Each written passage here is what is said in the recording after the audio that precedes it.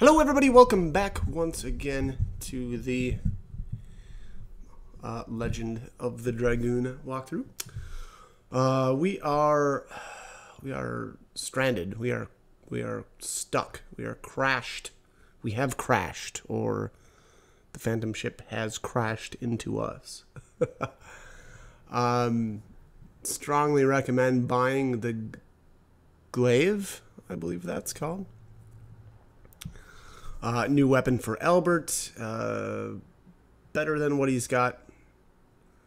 Go ahead and grab it. Uh, the Beast. So the Beast Fang for Haschel and the Warrior Dress already have both of those. So I did not need to buy either of those. Um, you can rest here. You can shop. You can save. Pretty decent area to uh, to level in. Now this chest, I have to say, um, we're gonna get everything out of here. There's there's basically five rewards, and you have to arrange these numbers. And um, you get a certain amount of attempts depending on how many uh, successful attempts you've made, I guess uh, or not not not successful attempts, but based on how many rewards you were actually successfully able to get. So, what I mean is, um, and here I'm abusing save states like I always do, uh, which is going to make this just stupidly easy for me. Um, I don't know if you can um, save your game and then go interact with the chest and make some guesses and then reload your save or not. Uh, but if you're not playing on an emulator like I am and abusing save states, I would at least try that. I should have should have tried that myself, but I didn't. Um, but yeah. Uh, anyways, like I said, five uh, five items that you can obtain. The first three are pretty lame. I believe they're just accessories. Uh, the fourth one actually, actually, I think all of the rewards are accessories. Now that I now that I think about it, uh, the fourth accessory though is a talisman, and that's one of the one of I believe only two in the game that, um, as far as accessories anyway, that can prevent uh, like instant death. I guess I haven't run into anything that I don't think anyway that can uh, that can do that. Uh, so it hasn't been particularly useful yet, but. Uh, anyways, the this talisman will be the second one. I think the first one we got in like uh, the Valley of the of Corrupted Gravity. I, I think.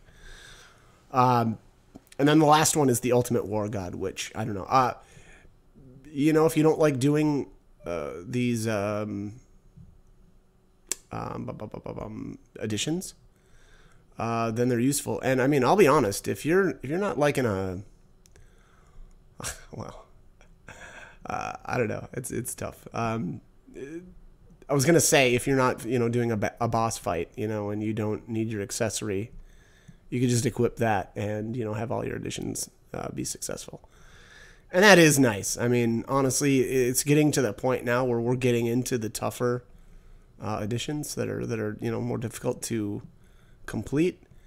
And uh, boy, I fail a lot. I don't know if it's this video or the next one. We're gonna see here, but um, there's been some really tough ones where I just a lot of it is again, and I've I've mentioned this in in uh, at least one of the earlier videos, but um, it depends on the angle. I've noticed. So like if if the camera angle is directly behind my character, um, I have a very difficult time correctly completing uh, additions, and it gets easier. You know, the if the the camera angle is uh, you know, off to basically off to like one of the sides of the character at a, and, and I mean, ideally at like a 90 degree angle, but uh, that doesn't always uh, work out that way.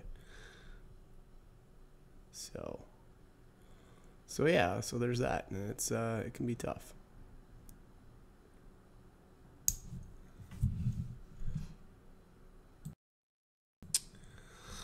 Okay, uh, where was I? So I, uh, I, had to I had to check into this. I didn't remember that uh, magician bogey going into that door right there.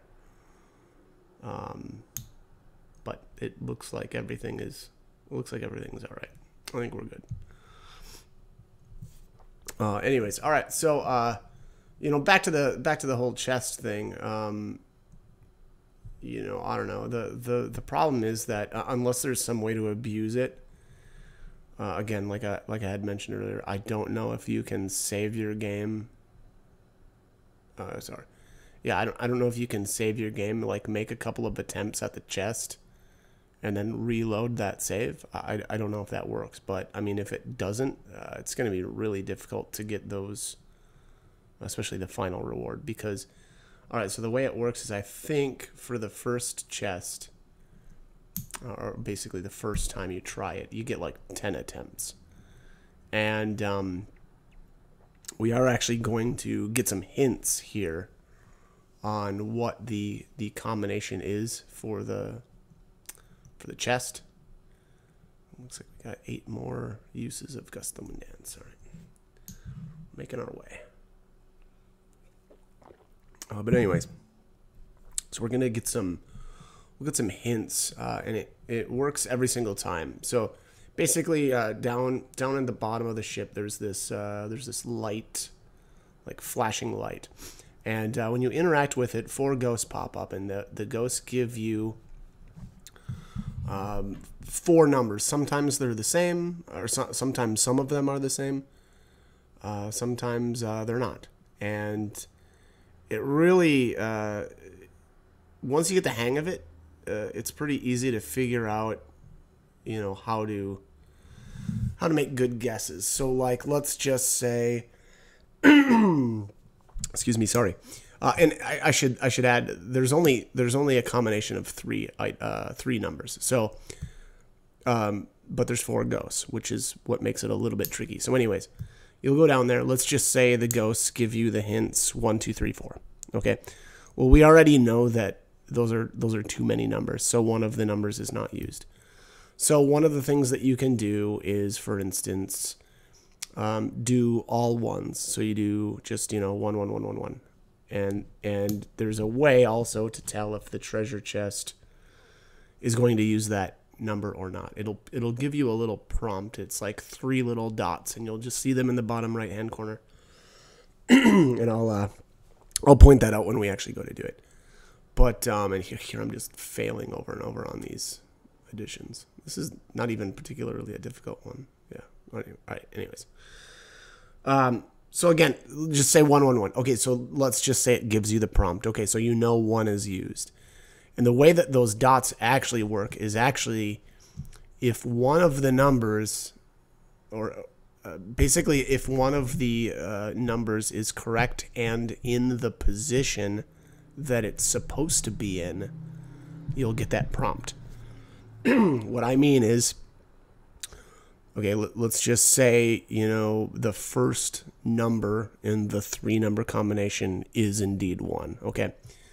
So um, we do one, one, one, one, one just to make sure, or sorry, one, one, one, I guess in this case, to make sure that one is even used at all. And obviously, because 1 is also happens to be the first number in our combination, we'll get the three dot prompt. Whereas, let's just say uh, we enter 0, 1, 1, 1 in the um, you know, bo- dialog box or whatever as our combination. Well, actually, it will not give us the three dots because while we do need to use the number one, it needs to be in that first position in order for it to uh, prompt us correctly. So um, that's why I believe it's important, uh, at least on your first pass, to test out. You know, again, you know, in this case, it's one one one one. Um, or sorry, one one one. I keep I keep saying four numbers, and I shouldn't be saying four numbers. But all right, anyways. Here is the flashing um, light. These are the four ghosts. So write these down. Zero. I don't know if zero is even a possible number. So um, we'll see. But I don't think zero is ever used. Um, but here's one, uh, four, and eight. Okay, so one, four, eight. Zero, one, four, eight, I should say. Again, I don't know if you can actually enter in zero. Um, we'll we'll take a look here, but if that is the case, uh, that that'll be nice because then we know that the the numbers that are actually useful are one, four, and eight. So then we don't have to uh, worry about uh, finding out which number to not use at all. So, anyways, what I'll end up doing is do um, again, and this will be this will be dependent on whether zero is used or not. But we'll try one, one, one, and then I suspect you know the the one actually is used, so we should get a prompt. And then you could try four, four, four. Same thing. You should get a prompt again if the digit four is used. And then again for the number eight. Um, if if you ever try a number though that uh, you know and you try uh, it in all positions and you don't get a prompt, well then you know that that number is not used at all. So that's the first way to kind of eliminate um, you know where numbers go. The second thing that you can do is um, let's just say again, let's let's we'll use the digit one again uh, for an example. Let's just say we know that uh, we need to use one, but we don't know which position it is, first, second, or third. What you can do is, you know, uh, use a digit that you know is not being used. In this case, it'll be like nine. Okay, you could do nine, one, nine. And if you get the prompt, well, you know that one is used and it's in the right position. If you don't get a prompt, well, then you know that the 1 doesn't go in the second position. And thus, then you can try it in the third position. So you could do 991 instead. And again, same thing. If you get prompted, uh, then you know that it's in the right position. If not, you know that you, you don't have it quite right. So, um, anyways, we will, um, you know, we'll we'll do some testing, or we'll uh, we'll go up to the, we'll go back to the chest and make sure that uh, that we've got you know all of our numbers in the right position and uh, get our first reward. Again, though, you'll notice uh, oftentimes I will um, you know you'll see the the the screen kind of I don't want to say glitch, but it'll restart back to an earlier time, and that's just again that'll be me using my save states. Um, and I, I just I don't know. The the thing with this whole uh, mini game too is that I, I don't know if you can save your game, you know, and try a couple combinations, and then if you don't get it right, if you can reload, like that's definitely the way to go about it if you're um, if you're not playing on an emulator, and and it, I I don't know. Maybe that resets something. I don't know.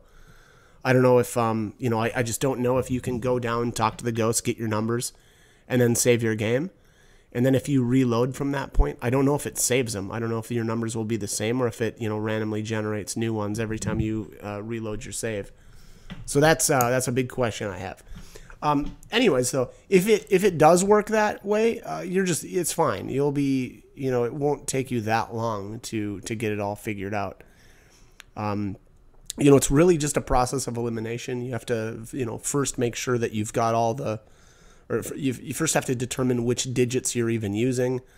Um, oftentimes, you'll get lucky, and uh, some of the dig- digits will actually be repeated by the ghosts themselves. So, like, you know, let's just say, so instead of 0148 like we got this time, let's just say we got 1148. Well, I mean, then you know all three digits right off the bat, and you don't have to go through the process of elimination of, um, you know, determining which digit isn't used.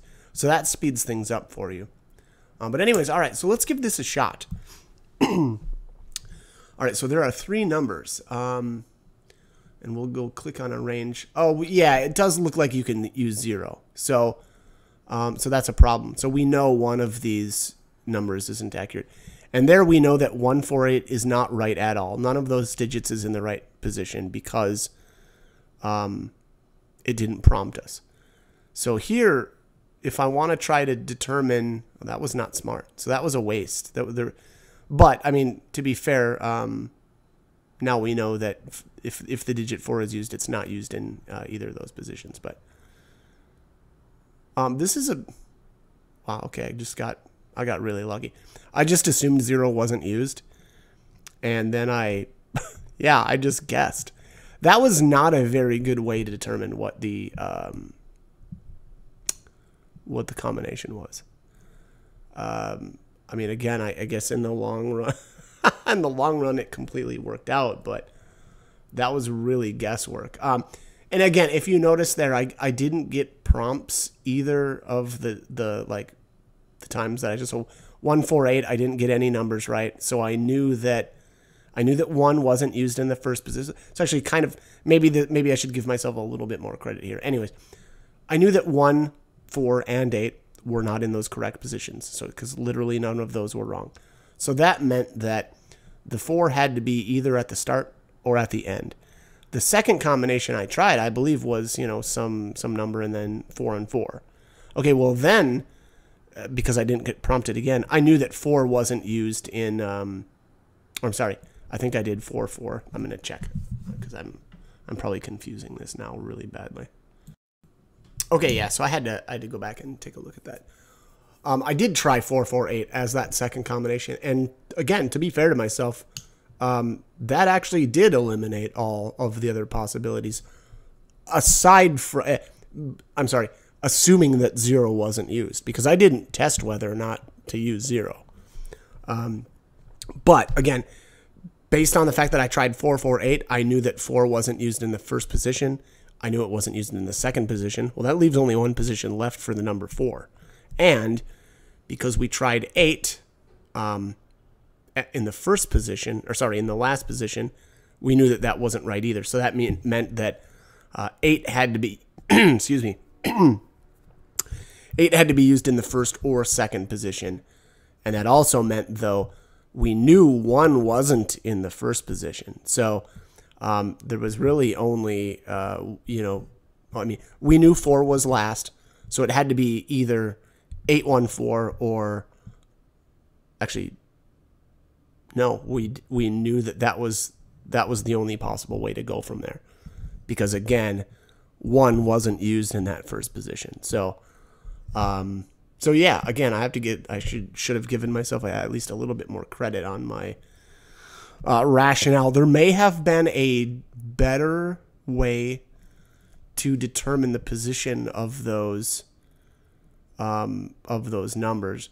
I think I think the fact that I guessed one four eight immediately, and I and we knew that none of them were correct that actually was huge. That gave us a ton of information um, because had one of those positions been correct, let's just say in this case, one, okay? The problem was though, I didn't I wouldn't have known if it was the 1, the 4 or the 8 in the correct position. So in that case, um, literally getting every single one of those wrong gave us way more information than had we got one of those right. So, um, a fair fair amount of luck in, I mean, for one thing, the zero not being used, uh, and then the second one was, uh, you know, I mean, basically all of my guesswork was based off of uh, not using that zero digit. So, you know, again, there was there was actually just a ton of of straight up luck based in that uh, that first success. But uh, all right, so anyways, we are. I mean, and basically, we need to keep uh, keep doing this. We need to keep traveling down to the bottom, interacting with the light to get the new set of numbers. So we've got two, four, five, two, four, five, and seven. Okay, so that that's rough. So we already know that you know uh, for sure one of these digits won't be used. We'll have to determine what that is, and it's going to take a lot of guesswork uh, to eliminate, you know, which uh, which one is not used. And here I just I'm I'm really trying to get through here without fighting too much. Um, and not that this is I mean this isn't a bad place to to do some fighting and leveling. It's just uh, for walkthrough sake. Uh, I didn't want to uh, get into a bunch of battles and fail over and over like I like I frankly have been doing, man. Some again, we're getting into that point now where these additions are getting a lot harder for me to do, you know, successfully. So uh, it's uh, it's a little rough. Sometimes these are these are looking bad. Uh, I I think it was two four two four five seven. I think. Um, so, anyways, the first thing that we're going to try to do is eliminate one of the digits, which means you know we should do two two two um, and that'll that'll let us know whether or not we use the the, the digit two. Uh, and then we should try 444, 555, you know, and, and kind of go from there. So, all right, 222. Doesn't open. And we get prompted. Okay, so we know that the 2 is used. We don't know which position the 2 is in, but we know that that's used. So that's good. All right, so 444, that'll be the second one that we try. And we get prompted again. Okay, so we know that the 4 is used. So let's try 5. And no prompt. Okay, so now we know the 5 is not used. So the the combination is uh, some combination of 2, 4, and 7. So now we need to, okay, tr- we're trying to determine where the 2 is at. We know it's not in the first position. Um, so at this point, yeah, now I can just, okay, 2 doesn't open. Okay, so we know the 2 is in the last position. Now, um, no, this is not, this is not smart. I should not be doing it this way. I don't think. I, I'm actually just trying to guess. Um, it would probably be better to do like um, to try to determine like where the four is actually at. Okay, I guess this uh, this actually may end up working out too. So actually, um, now now actually, yeah, we know that the combination has to be seven four two.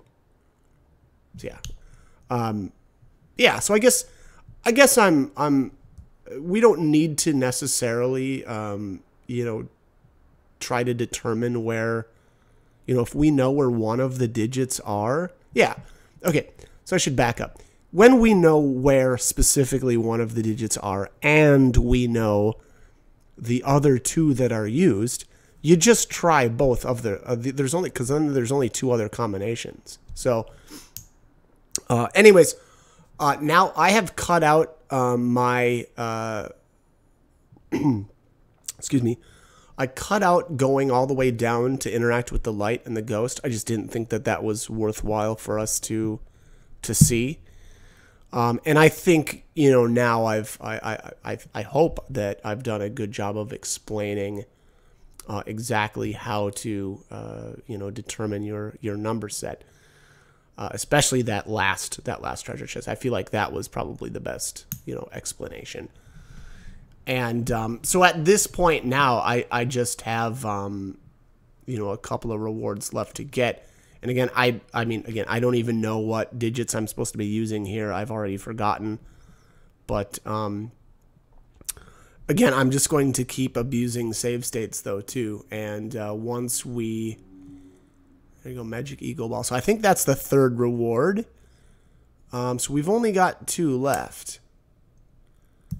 Um, and uh, to be honest though, so you can you can keep doing this uh, even after the fifth reward, but you only get. Uh, my impression was uh, you only get a hundred gold, so not worth you know doing after that fifth reward. So. so anyways yeah fun mini game um you know, I, I don't know. It's a little time consuming having to run in between uh, this room and the room that the ghosts are in to get, you know, your next uh, your next set of digits. But um, and if you do notice here, obviously we're we're really getting low on. Um, oh wow, I don't know what happened there. One more time. Um, but yeah, uh, you know, very uh, again time consuming, but it's kind of fun. Uh, I still have questions on whether or not you can just save your game, you know, after you've got those numbers from the ghosts, so that you can, you know, try this over and over and not, um, you know, have to completely redo it. Because once you've lost, um, or once you've guessed too many times and you failed, uh, the the treasure chest resets, and then you have to go all the way down and talk to the ghosts again to get a new set of numbers. So, um, here is uh, we're working on the last reward. I, I believe this is you only get two attempts, and I mean it's almost impossible to to do this without some sort of you know either just straight crazy excuse me cr- just crazy luck or um well, I mean, a lot of luck because you know, let's just say you get you know the ghosts tell you two of the digits and and they're, then they're the same. that's your best chance because then you know, you know, all three digits right away, and you don't have to go through that that process.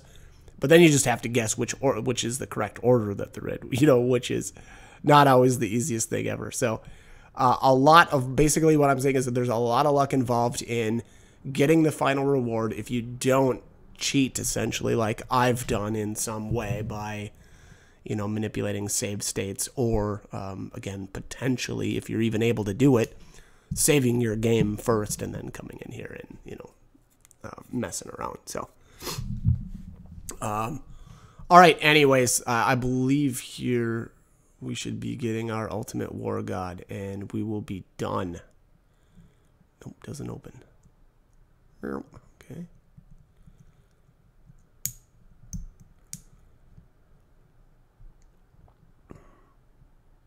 Boom. Ultimate War God. There we have it. All right. So um, again, if you don't like using your or you don't like doing additions or um, you just kind of want to take it easy and not do additions for a while, you can absolutely equip that. I believe it gives you full SP, full damage, and it will actually count as you having used that addition for um, you know, leveling your addition like tiers, I guess, uh, if, that, if that's maybe that's the correct terminology. But, anyways, I'm out of time. Hope the guide was helpful and hope you join me for more videos. Thanks for watching.